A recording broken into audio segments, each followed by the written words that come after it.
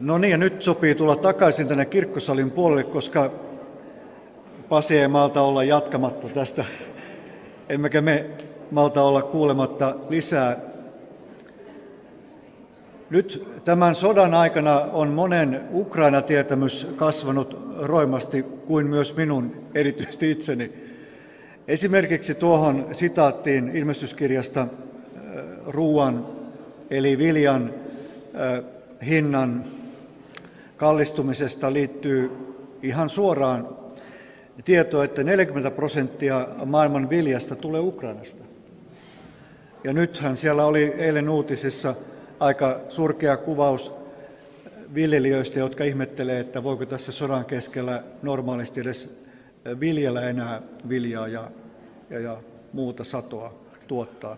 Eli yllättävästi siis monta muuta Ukraina liittyvää tietoa on tullut meidän tietomme, siis monet kaupungit yhtäkkiä löytävät kartalta itsensä, mistä ei ole koskaan kuullutkaan mitään.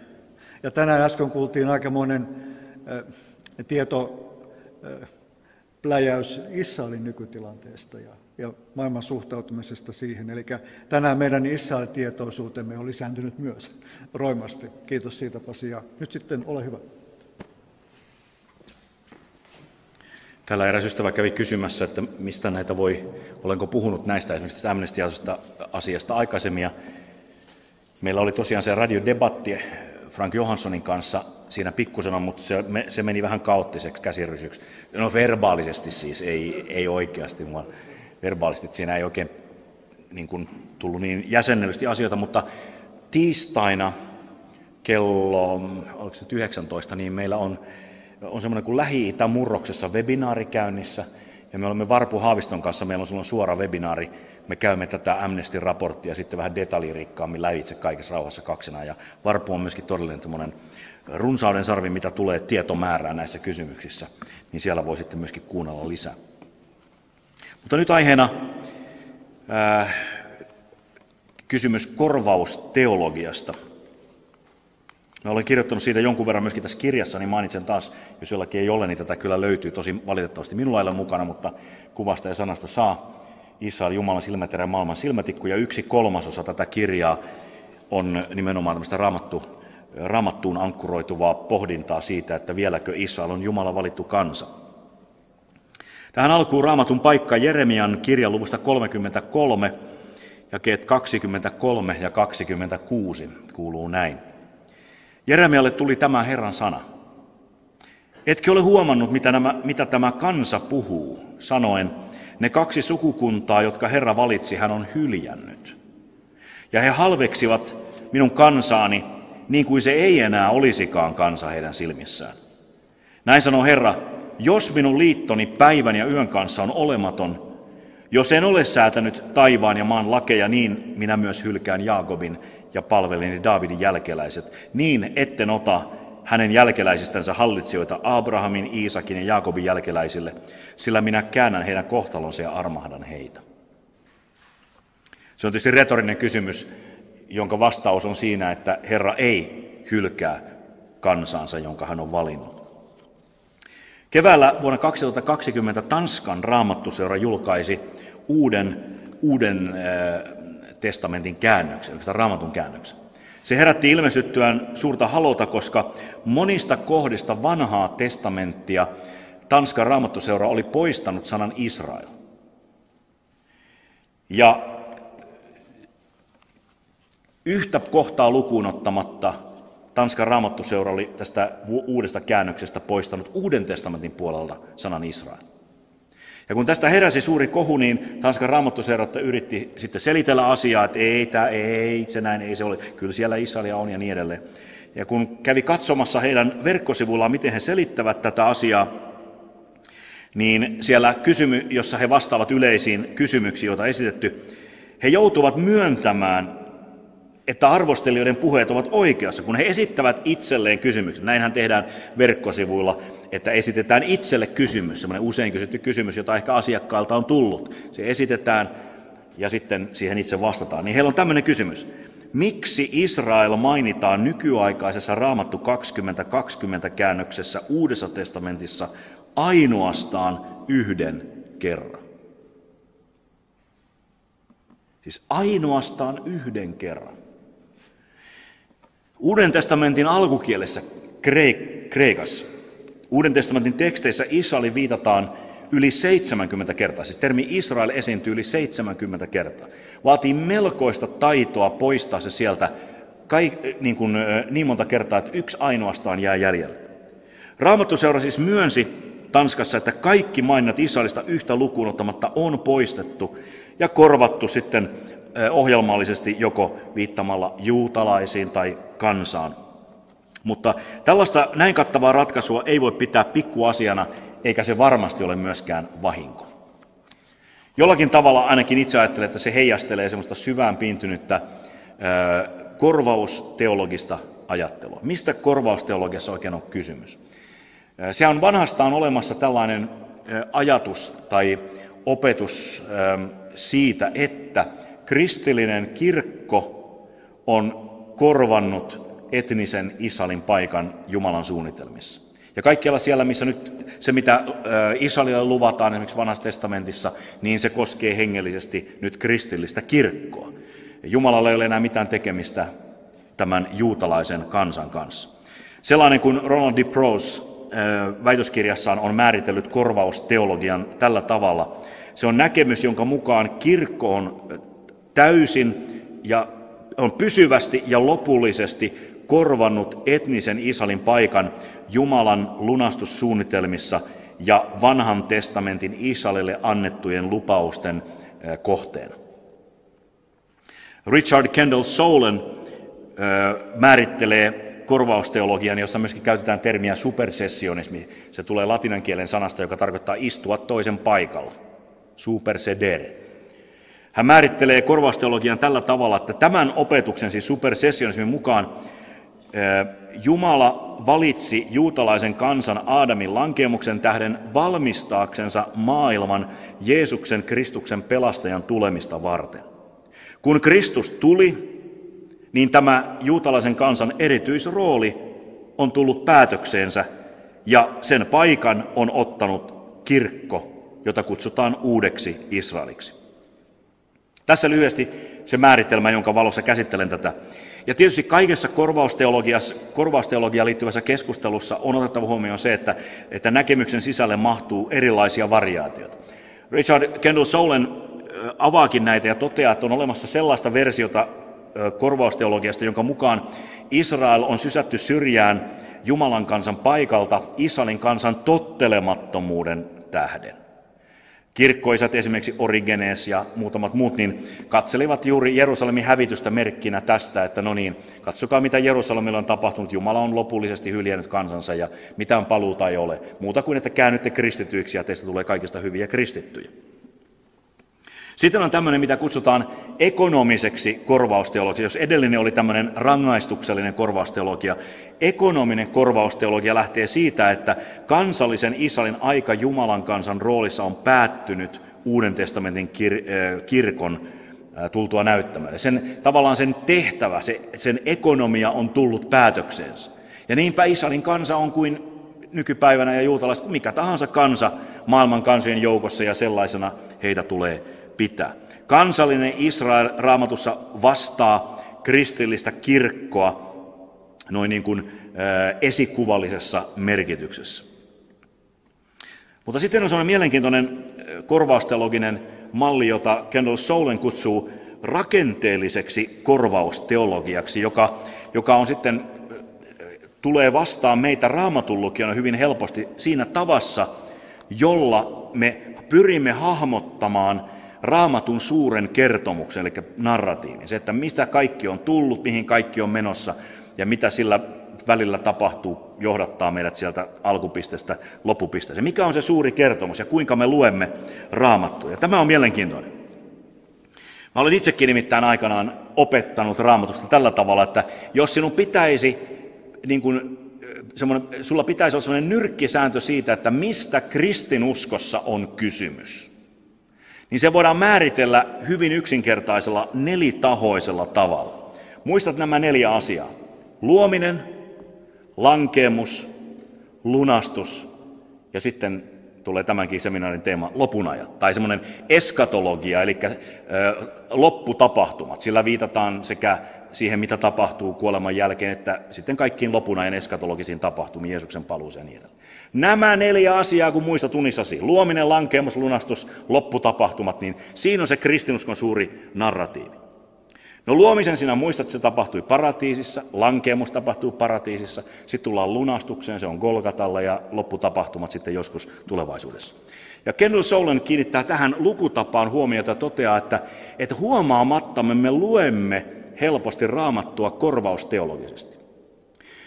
Tämä nelitahoinen kaava on peräisin ihan varhaisilta kirkkoisilta Ireneukselta, joka ensimmäisen kerran hahmottaa kristillisen tämmöisen maailman kertomuksen näiden neljän pilarin varassa. Ja sieltä saakka se on sitten kulkenut suurten kirkkojen tapaan tarkastella asiaa ja myöskin herätyskristillisyyden parin. Ja niin kuin sanoin itsekin aikanaan, tätä opetin monen kertaan. Tämän kun muistat, niin tiedät, mistä kristiuskossa on kysymys. Mutta jos ajatellaan luomista ja lankemusta, nämä tapahtuvat Genesiksessä paratiisissa. Ja seuraavana tulee lunastus, hypätään siis Golgatalle saakka, niin siitähän jää melkoinen määrä raamattua välistä, eikö niin? Ja sitten tulee lopputapahtuma. Eli käytännössä Genesiksestä Matteuksen evankeliumiin, niin koko vanha testamentti on kadonnut välistä. Tarvitaan jotain muuta. Ja Kendall Solen kritisoi meidän raamatulukutapaamme sillä, tästä, että me, me hyppäämme hebrealaisissa kirjoituksissa raamatun kolmen ensimmäisen luvun jälkeen suoraan uuteen testamenttiin ja evankeliumeihin. Siis aja, hahmottaessamme tätä kristinuskon suurta kertomusta. Koko kertomus Jumalan liitosta Israelin kanssa, joka on olennainen tässä välissä, jää kokonaan tästä kertomuksesta pois. Ja meidän lukutapamme on siis, vaikka emme tätä termiä käyttäisi, niin jossain määrin korvausteologinen. Augustinukselta on peräisin tällainen ajatus. Uusi testamentti on kätkettynä vanhassa testamentissa ja vanha testamentti on paljastettuna uudessa testamentissa. Johonkin rajaan saakka tämä on täysin ymmärrettävää ja me kaikki tiedostamme tämän. Me emme voi lukea hebrealaisia kirjoituksia tai vanhaa testamenttia ikään kuin Jeesus ei olisi tullut. Jeesuksen tuleminen totta kai vaikuttaa siihen, miten me tarkastelemme kirjoituksia. Mutta samalla me emme voi myöskään lukea vanhaa testamenttia ikään kuin se olisi uusi testamentti. Yksi tällainen raamatun kohta, jota monesti luemme, Luukkaan evankeliumi luku 24, jakeesta 25 jakeeseen 27 ja sitten sama asia toistui jakeessa 44, jossa Jeesus kohtaa Emmauksen tien kulkijat ja sanotaan, että hän avasi heidän ymmärryksensä käsittämään, mitä hänestä oli kaikissa kirjoituksissa kirjoitettu alkaen Mooseksesta, profeetoista ja psalmeissa. Ja ehkä monesti me teemme tästä tekstistä sellaisen johtopäätöksen, että meidän täytyy mennä vanhaan testamenttiin sillä tavalla, että meidän täytyy jokaisen niin kuin kiven alta kaivaa esiin Kristus. Jopa sellaisestakin teksteistä, jotka eivät välttämättä edes Kristusta koske. Nyt tämä, mistä Jeesus tässä sanoo, niin ei tietenkään tarkoita sitä, että lukekaa vanhaa testamenttia sellaisen linssin läpi, että ette näe siellä mitään muuta kuin Jeesuksen. Vaan kuunteluette vanhaa testamenttia, niin huomatkaa, että siellä on tekstejä, jotka puhuvat Kristuksesta. Esimerkiksi Mooses kirjoittaa profeetan, minun kaltaiseni Herra Jumala on herättävä veljenen joukosta, häntä kuulkaa. Se on, hänet on löydetty Mooseksen kirjoissa. Tai Jesaja 53, Herran kärsivä palvelija, joka on lävistetty ja hänen sielunsa on lunnana meidän edestämme, niin edelleen. Siinä on Kristus. Mutta esimerkiksi kun vanhassa testamentissa puhutaan ää, Tyyrosta ja Siidonista ja, ja Baabelista ja tämmöisistä, niin ei Kristus, eivät ne ole ennustuksia Kristuksesta. Tai kun siellä puhutaan Israelin kansasta, jolle Jumala on luvannut jotain, niin ei sitä voi yhtäkkiä ottaa ja sanoa, että jaha, tässä puhutaankin kirkosta tai Kristuksesta. Näin ainakin väitän.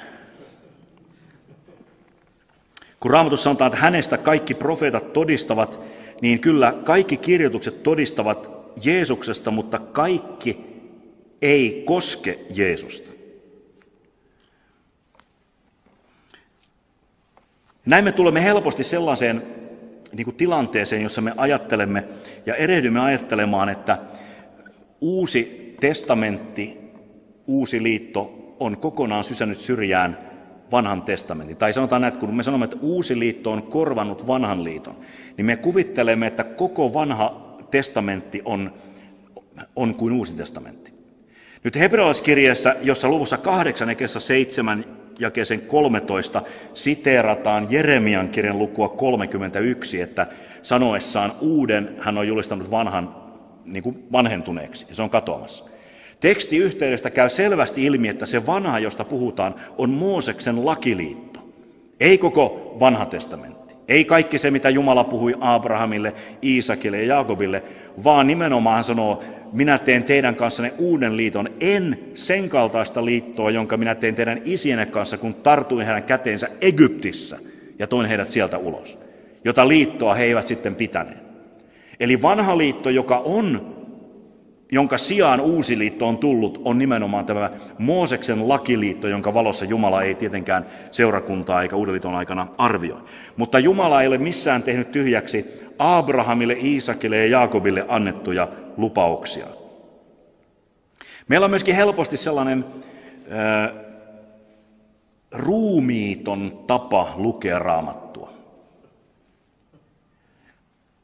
R. Kendall Solen, jota nyt tässä siteeraan, hänellä on erittäin hyvä kirja God, Israel and, hetken, en muista edes kirjan nimeä, mutta Solen nimen kun muistatte, niin hän, hän puhuu tämmöisestä historiallisesta gnostilaisuudesta, jossa, jossa meidän historian käsityksemme ö, kristillistetään ja hengellistetään sillä tavalla, että se menettää todellisen kosketuskohtansa tähän fyysiseen ajalliseen historiaan, jossa Jumala on luvannut toimia ja kuljettaa historiaa nimenomaan kansan, Israelin kansan kautta, joka on tietty konkreettinen kansa. Ja tilalle on tullut jonkinlainen hengellinen kansa. Ja kuitenkin juuri Israelin kansa, josta Raamattu puhuu, on se väline, jonka kautta Jumala on toiminut ja myöskin edelleenkin toimii tietyllä tavalla, kun pelastushistoria menee eteenpäin. Kirkko ei ole siis ottanut tässä merkityksessä Israelin paikkaa niin, että, että Israelilla ei ole mitään merkitystä ja kaikki mitä raamatussa puhutaan nyt Israelista, se koskee kristittyjä ja kristillistä kirkkoa. Kun me ajattelemme esimerkiksi inkarnaatiota, Jeesuksen lihaan tulemista, kolmiyhteisen Jumalan toinen persona tulee ihmiseksi. Yhdessä persoonassa tosi ihminen ja tosi Jumala. Jumala tulee ihmislihaan. Niin hän ei tule jotenkin jonkinlaiseksi universaaliksi, yleiseksi ihmisyydeksi tai ihmiseksi, vaan hän tulee juutalaiseksi mieheksi, juutalaiseen kulttuuriin ja osaksi juutalaista historiaa. Evankeliumin kertomusta ei siis voida eikä tule irrottaa juutalaisen kansan kertomuksesta ja hypätä lankeemuksesta yhtäkkiä lunastukseen. Eikä tämä kertomus ole vielä Israelin kansan kohdalla päättynyt.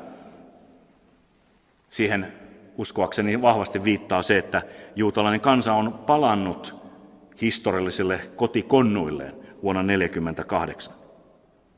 Joten meillä on äärimmäisen tärkeää raamattua lukiessa ymmärtää, että Jumala toimii todellisessa historiassa, käsin kosketeltavassa historiassa. Ja miten hän on toiminut? Hän on toiminut ja toimii kuin ruumiillisesti juutalaisen kansan historian kautta ja välityksellä. Edes kristillisen kirkon historia ei voi toteutua irrallaan tästä juutalaisessa kansassa ruumiillistuneesta historian kulusta koska eskatologiaankin liittyy olennaisena osana nimenomaan Israelin kansan todellinen ruumiillinen todellisuus. Tätä inkarnaatiotodellisuutta, josta sanoin Jeesuksesta, että hän tuli juutalaisen kulttuurin, juutalaisen historian keskelle, olen myöskin kuvallut tällaisella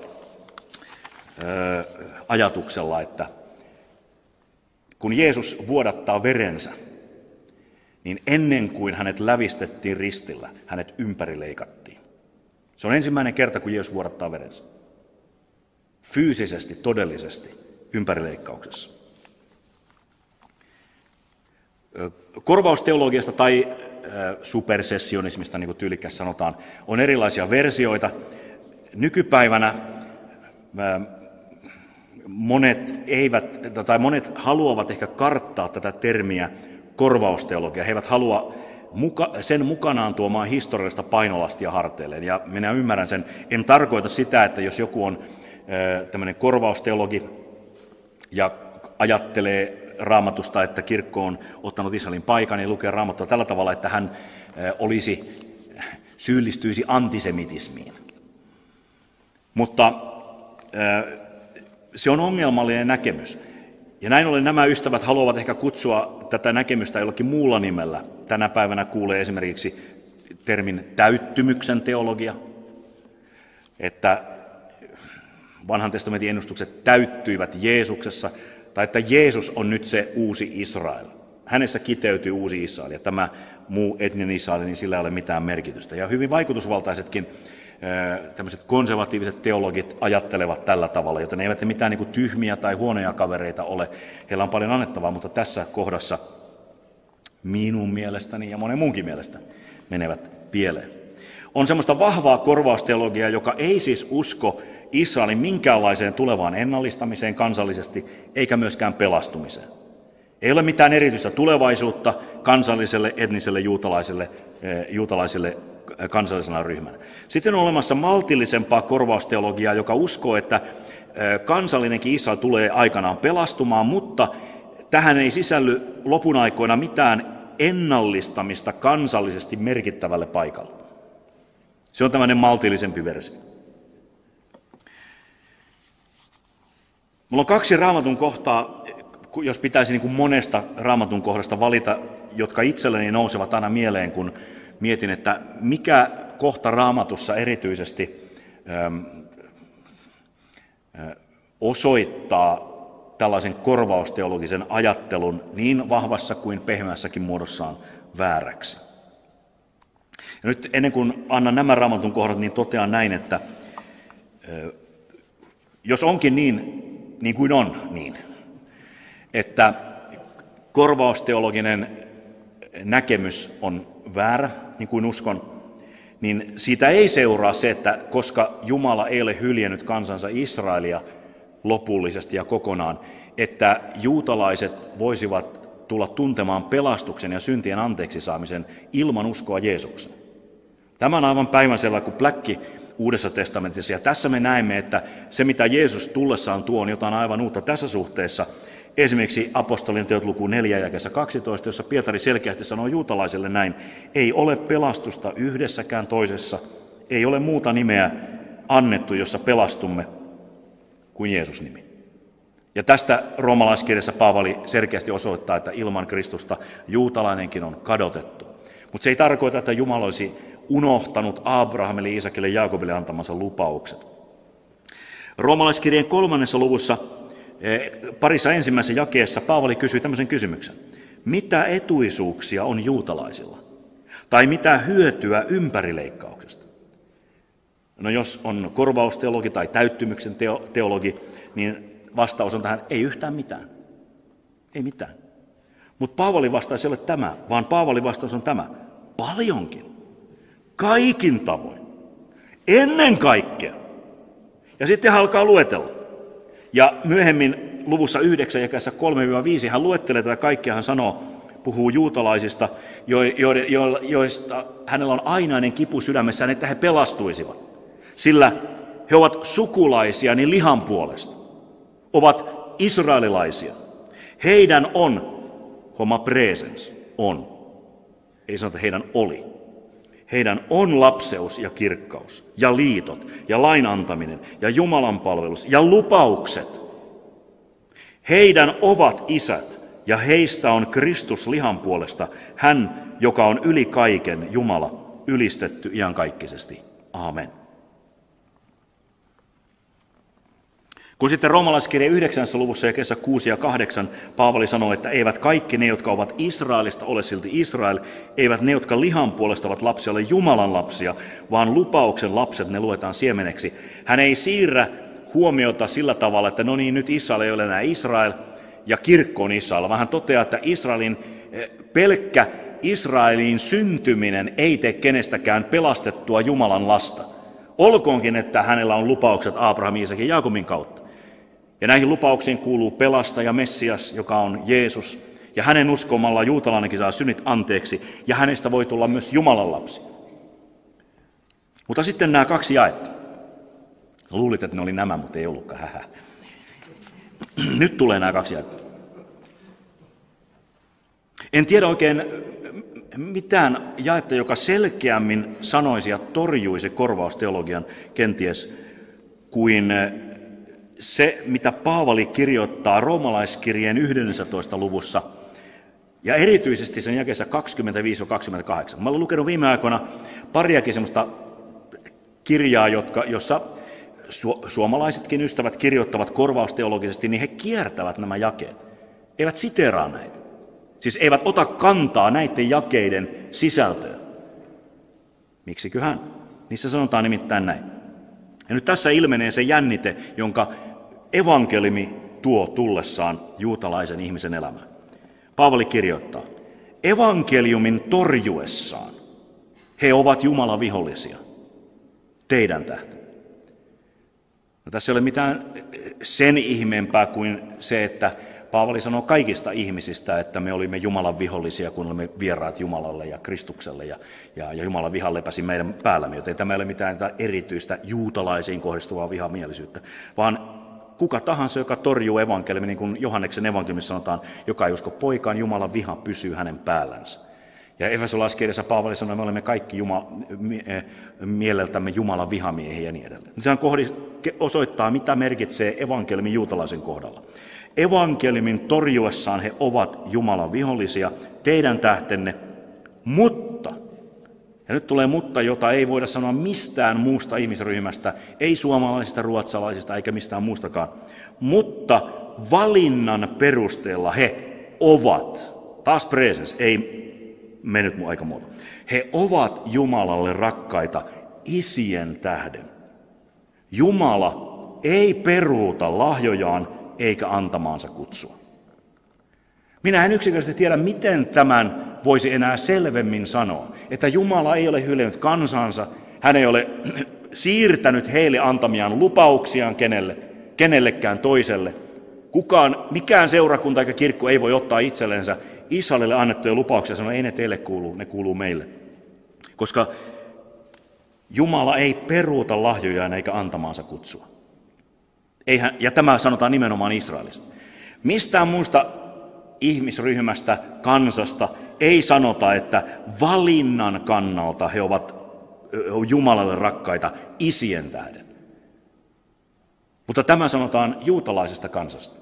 Ja tässä syntyy juuri se jännite, jonka kanssa Uusi testamentti sitten painiskelee ja Jumalan ilmoitus painiskelee ja kaikki evankeliumin julistus painiskelee, kun me julistamme evankeliumia juutalaisille – ja kerromme Jeesuksesta, joka on heidän Messiaansa, ja he torjuvat hänet, niin he eivät voi olla pelastettuja. Mutta siitä huolimatta sanotaan, että he ovat silti Jumalan rakkaita. Ymmärrätkö, minkälainen jännite tästä syntyy? Mutta tämä on se todellisuus. Mutta tämä sulkee pois mielestäni korvausteologisen ajattelun. Ja sitten tietysti Paavali kirjoittaa siinä myöskin Israelin kansan tulevaisuudesta. Se toinen jae, roomalaiskirja 15 jae 8 kuuluu näin. Kristus on tullut palvelemaan juutalaisia, alkukielessä ympärileikattuja. Hän on tullut vahvistamaan, sano vahvistamaan. Kiitos. Vahvistamaan isille annetut lupaukset, osoittaakseen, että Jumala pysyy sanassaan. Toisin sanoen, se on mielenkiintoinen tämä Paavalin sanavalinta, että Jeesus on tullut vahvistamaan isille annetun lupaukset. Hän ei käytä tässä ilmaisua, hän on tullut täyttämään isille annetun lupauksen, niin kuin hän olisi voinut kirjoittaa. No joku voisi sanoa, että asia on sama, mutta kun se ei ole sama. Ilmaisua vahvistaa alkukirjassa bebajo käytetään muuallakin Uudessa testamentissa nimenomaan siinä merkityksessä, että jotain vahvistetaan. Esimerkiksi muistaakseni siinä kohdassa hebrealaiskirjat, jossa sanotaan, että kun Jumala vannoo valan, ja kun hänellä ei ole ketään isompaa itsensä yläpuolella, hän vannoo itse kauttansa. Ja näin tulee sitten niin kuin valan kautta vahvistus sille asialle. Samalla tavalla Jeesuksen tuleminen palvelemaan ympärileikattuja merkitsee, että Jumala on tässä Jeesuksen tulemisessa vahvistanut isille annetut lupaukset, osoittaakseen, että Jumala pysyy sanassa. Ja tämän tähden tietysti me emme voi lukea, tämänkään tähden me emme voisi lukea, emmekä meidän ei tule lukea vanhaa testamenttia korvausteologisesti tai täyttymyksen teologian linssien läpi tai niin edelleen. Minulla on ystäviä, tiedän teologeja, jotka ajattelevat korvausteologisesti. Olisin mielelläni heidän kanssaan samaa mieltä, mutta sitten olisimme molemmat väärässä.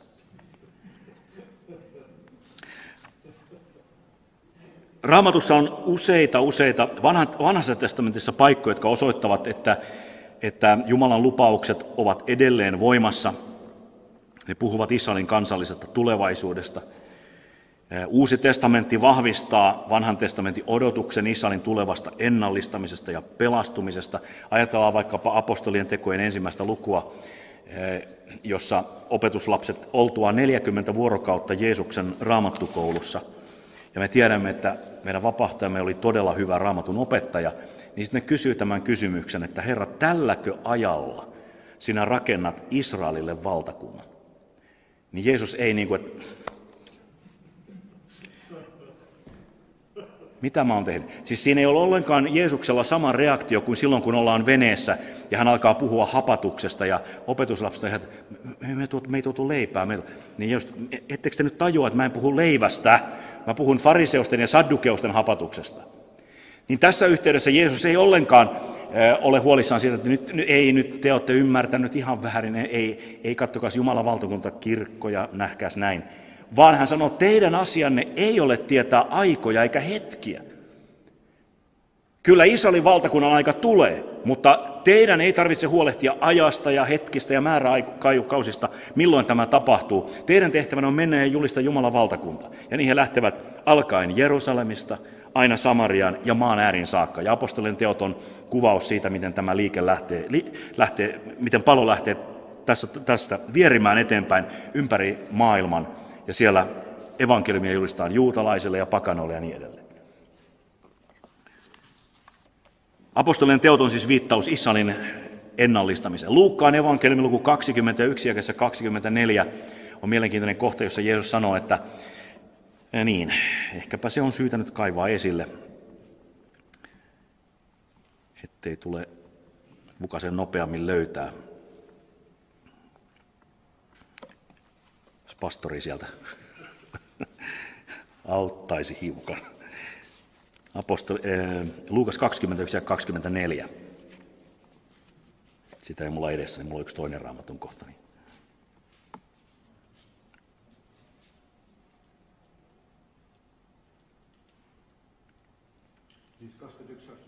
Niin mä muistelen, että se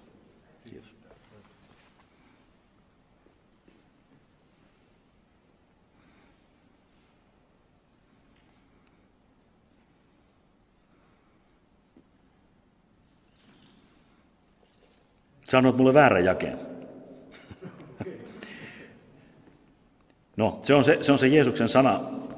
Hetkinen, nyt mä varmaan muistankin. Ähm. Jeesus puhuu siis Jerusalemin hävityksestä ja siitä, että, että Israelin kansa joutuu siis pois Jerusalemista, kunnes pakanoiden ajat täyttyvät. Tämä on se jae, jota mä tässä e- e- etsiskelin. Näköjään olen merkinnyt väärän. Anteeksi?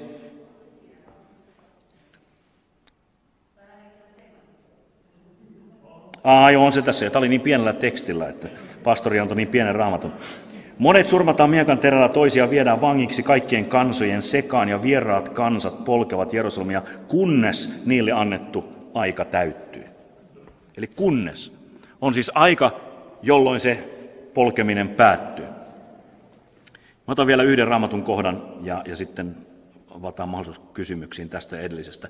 Psalmi 105 ja siellä on jälleen tämmöinen voimakas ajatus siitä, miten Jumala pysyy uskollisena liitolleen.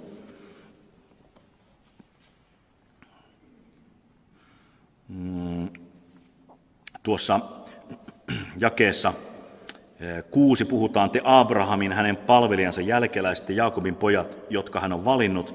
Hän on Herra meidän Jumalamme, hänen valtansa ulottuu yli koko maanpiirin.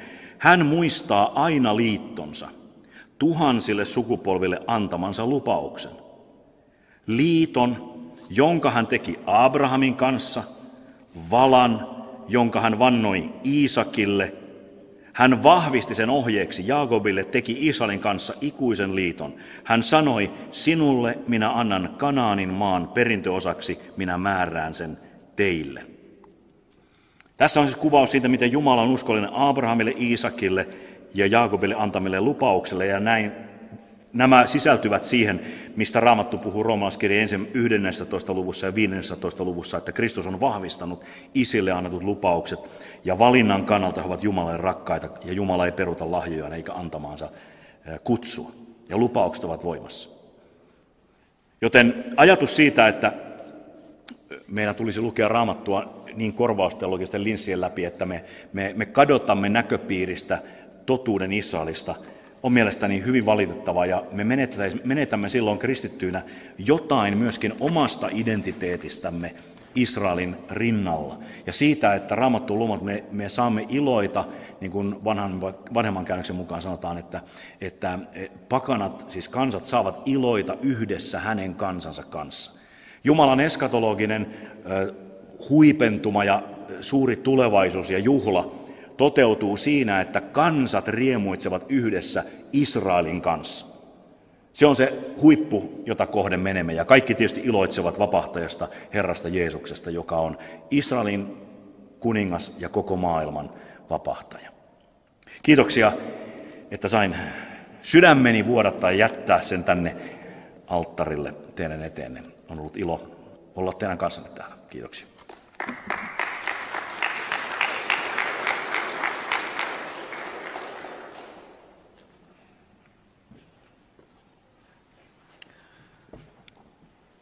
Kiitos on myös meidän puolellamme. Oli ilo kuulla tämä toinenkin luento. Varmasti kaikki te yhdytte tähän sanaani. Todella, joo. Asia tuli jotenkin selväksi, että ei voida olla nyt jatkossa muuta kuin tätä mieltä. Tai sitten ollaan väärässä pahan kerran. Aivan. Mutta hei, jos nyt on tullut mieleen niin näistä kahdesta luennosta kysyttävä Pasille, niin Pasi on vielä jonkin aikaa keskuudessamme sitä varten. Olkaa rohkeita, jos siltä sydämessä tuntuu.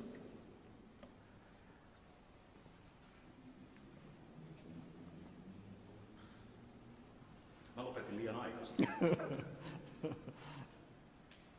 Oliko kirkkoisa Augustinus tällainen korvausteologi? Oliko kirkkoisa Augustinus korvausteologi? Kyllä oli. Kyllä. Ähm, sen alku noin niin kuin dogmihistoriallisesti voidaan jäljittää Justinus Marttyyriin sinne, joka kuoli 165 jälkeen Kristuksen. Hän on ensimmäinen, joka esittää tämmöisen ajatuksen semmoisessa teoksessaan juutalaisen Tryfonin kanssa, dialogi juutalaisen Tryfonin kanssa, että, että kirkko on hengelle, uusi Israel, hengellinen Israel ja, ja, ja, ja Jumala on hyljännyt hyljännyt juutalaisen kansan ja viittaa siinä esimerkiksi Jerusalemin hävitykseen vuonna 70. Ja tämä ajatus kulkee sitten sieltä niin kuin Augustinuksen kautta myöskin läntiseen kristikuntaan, suurten kirkkokuntien opetuksiin, roomalaiskatoliseen ja myöskin perinteisen luterilaiseen opetukseen, joudun näin toteamaan. Martti Lutterilla oli hyvin voimakas tämmöinen korvausteologinen näkemys, joka tulee valitettavalla tavalla vastaan myöskin siinä hänen surullisen kuuluisassa loppuelämän puolen pamfletissa juutalaisista ja heidän valheistaan.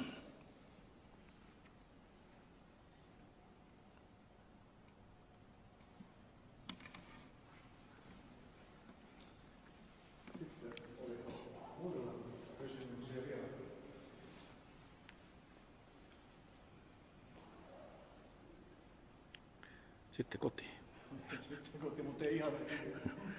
Kiitoksia kaikille ja oikein siunattua. Muistetaan rukoilla Ukrainan puolesta. Kannetaan heitä Jumalan kasvujen eteen. Kiitoksia. Mainitsen vielä sen verran tähän Augustinus-kysymykseen, että kaikilla näillä kirkkoisilla ja, ja, ja varhaisilla alkaisella Justinoksesta ja kaikilla muillakin on paljon hyvää annettavaa ja heidän, heidän, heidän merkitystään ei voi väheksyä niin kuin kristillisen opin muodostukselle, että vain koska heillä on tämmöisiä sitten ongelmallisia näkemyksiä joillakin, niin ei tarkoita, että heidät kannattaa kokonaan niin kuin sysätä syrjään, mutta joutuu lukemaan vähän niin kuin kriittisellä silmällä joitakin painotuksia heidän teksteissään.